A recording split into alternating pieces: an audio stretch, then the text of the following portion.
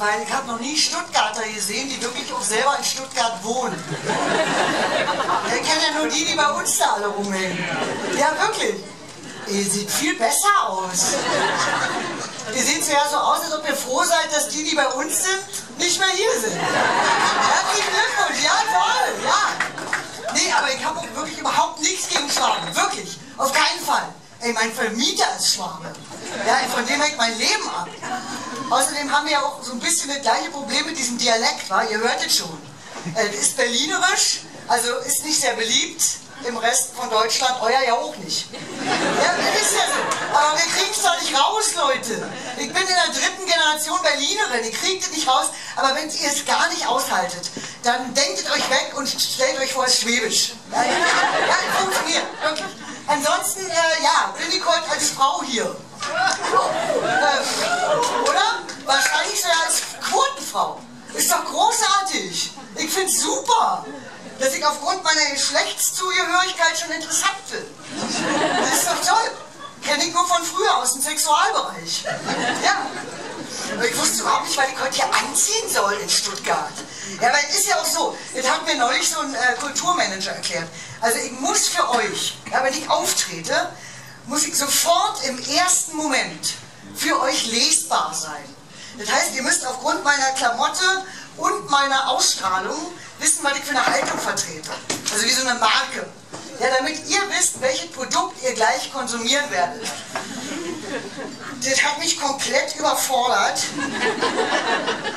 Deshalb sage ich euch, wie das ist. Also ich bin eine ehemalige Sexbombe. Gibt's da zu lachen? Könnt ihr euch nicht vor... Ey, ich hatte wirklich alles, was man braucht. Hier, bitteschön. Ja, hier so blonde Haare. Also die waren damals noch nicht gefärbt und so zwei Meter lang. Die habe ich immer so geschüttelt. Ja, ja. Dann waren hier, die waren damals schon echt, aber ich hatte so Trotteln dran. Ja, da konnte ich immer so, meinen Namen konnte ich da so in die Luft schütteln. Da, da, da. So, hinten war auch Sexbombe, rechts, links Sexbombe, einmal rum, fertig ist die Sexbombe. Es ist deprimierend einfach.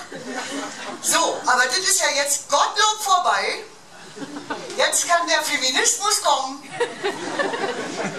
Und ich bin auch noch Bestager, Leute. Ich werde in diesem Jahr 53 Jahre alt.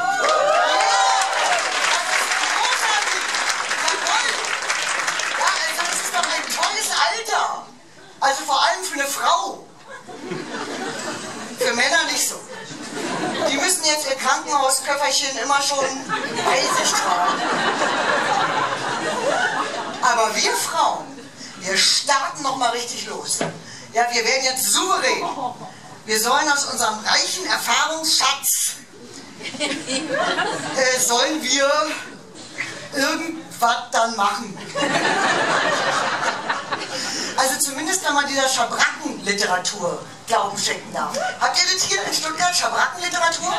So alte Schabracken schreiben Bücher darüber, wie geil es ist, endlich eine alte Schabracke geworden zu sein. Ja. Die haben auch tolle Titel. Da geht noch was. Mutti außer Rand und Band. Drogen im Alter. Endlich zahlt die Kasse.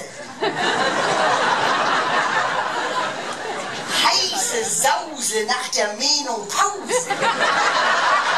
Yeah, ich freue mich, wirklich. Meine Freundinnen nicht so. Ja, also die, die, all die Frauen in meinem Alter, die jammern immer, die jammern und meckern. Die sagen mal, guck mal hier, guck mal, schon wieder graue Haare. Und guck mal hier, jetzt sehe ich aus wie die Mutter von Derek. Und guck mal hier, mein schönes Schmetterlingstattoo, nur noch eine Motte. Und dann geht das immer los. Ja, immer das, guck mal, und wenn ich so mache, wenn ich so mache, dann sieht aus wie eine tote Fledermaus. Und wenn ich dann so mache, ja, wenn ich so mache, dann sehe ich aus wie eine Kraterlandschaft. Und wenn ich so mache, dann sehe ich aus wie ein Känguru. Da denke ich immer, dann mach doch nicht so.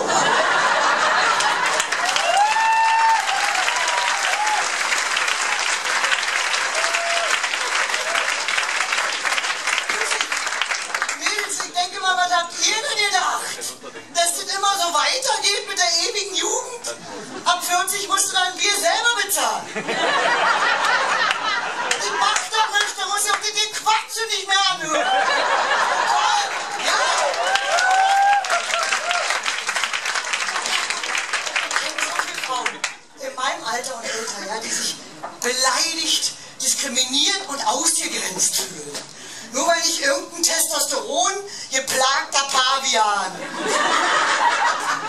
ihm noch hinterher pfeift oder sie am liebsten direkt von hinten begatten möchten auf der Straße. Aber ich bin froh, dass diese hirnlose Hechelei sich endlich dem Ende nähert. Ich will auch keinen jungen Freund oder sowas. Bin doch nicht blöd. Ich will doch nicht, dass der Kerl hübscher ist als ich. Wir sind doch nicht bei den Enten. Oder? Ich habe überhaupt ab 40 erst angefangen, mit Männern Gespräche zu führen. Weil die auch mal dahin gucken, wo ich auch rede. Und das ist schön, das ist ein richtiger Austausch. Ja, seit neuestem, da schütten die mir ihr Herz aus. Ja, weil die haben es ja schwer, die Männer jetzt. Die sind ja so verunsichert. Mit diesem ganzen MeToo und so. Die wissen ja gar nicht, was dürfen sie denn überhaupt noch? Was darf man denn noch? Darf man noch ein, noch ein Kompliment machen? Darf man der Frau noch die Tür aufhalten? Oder glaubt sie denn, er denkt, sie ist behindert? Darf man ihnen ein ausgeben oder wird es schon als Anzahlung verstanden?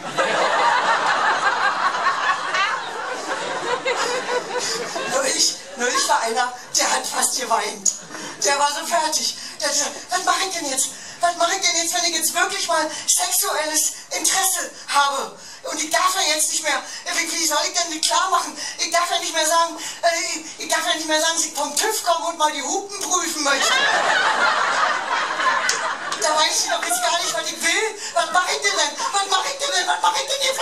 Was ich? Bleib doch mal ganz ruhig. Mach doch einfach mal gar nichts. Vielleicht macht sie ja den ersten Schritt. Ja, vielleicht. Vielleicht aber auch nicht. Und selbst wenn, wir Männer, wir sind ja evolutionsmäßig gesehen eher Jäger. Und die kannst du mal nicht leiden, wenn sich der Dreh tot vor die Tür legt.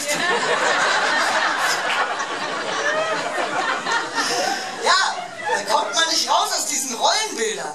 Aber ich merke, immer mehr Männer wollen da auch raus, ja, aus diesen alten Rollenklischees.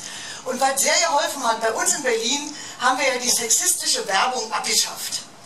Bei euch gibt es das noch wahrscheinlich, wa? Also sexistische Werbung kennt betrifft eigentlich Frauen. Also junge Frauen, die wenig frieren. Ja, und die ihre Dinger oder sonstige sekundäre Geschlechtsmerkmale um zu einer Kamera halten, sich dabei aus dem Auto regeln, in der Hoffnung, dass das Auto dann an Mann kommt. So läuft es. Aber das betrifft auch Männer. Ja, die sind ja auch betroffen. Ihr kennt die Werbung, vor der Tagesschau immer. Ja, geht es. Bauhaus. Mann mit dem Blaumann. Du machst es für deine Freunde, für deine Nachbarn, für deine Frau. Bei allem, was dir wichtig ist. Machst du keine halben Sachen. Doin, doin, doin, doin. Bauhaus, wenn es gut werden soll. Ist, das ist doch sexistisch. Ja, es ist so sexistisch. Ich kenne so viele Männer, persönlich, die die Schnauze davon voll haben ihren Frauen, ihren Ex-Frauen, ihren Schwestern, ihren Schwägerinnen, ihren Schwiegermüttern, ihren Müttern die Bude zu renovieren oder ein Regal anzubauen.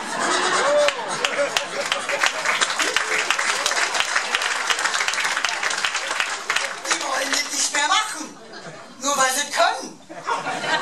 Was ich persönlich sehr bedauerlich finde. Ich finde, er soll das Regal anbauen. Ich kann es selber. Aber ich möchte nicht. Ja, und dann kommen, sie, dann kommen sie alle immer mit ihren Bärten jetzt. Jetzt haben sie Bärte.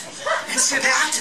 Ja, und die haben ja nicht nur Bärte, die haben ja auch Bartöl und Bartschampoo und Bartwachs. Doch, doch, doch, doch.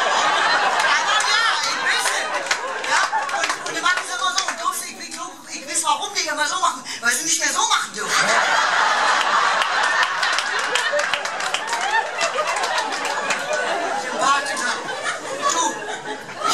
unheimlich doof, dass du mich nur auf meine Fähigkeiten reduzieren willst. Ich habe auch ganz andere Qualitäten. Ja, warten, dein Bart pflegen oder was? Ich meine, ich bin echt für den Feminismus. Aber es gab Dinge, die waren früher einfacher. Renovieren zum Beispiel. Ja, da musstest du als Frau, musstest du nur mit so einem Pinsel so fuchteln. So, und dann musstest du so ein ganz hohes Stückchen, ah ja, so, ich krieg vor lauter Feminismus die Stimme ja nicht mehr hoch.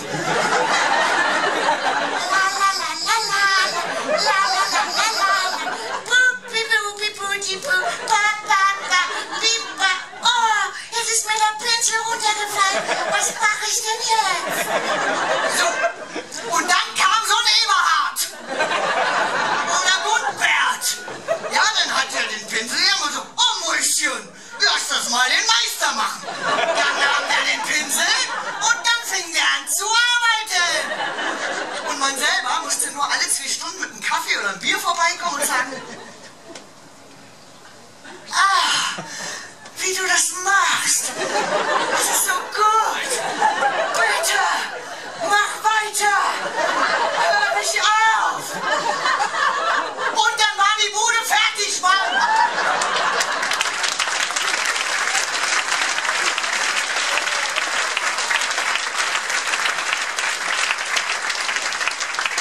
Heute soll ich die ganze Scheiße alleine machen. Ich soll in DAX-Konzern in die Führungsetage.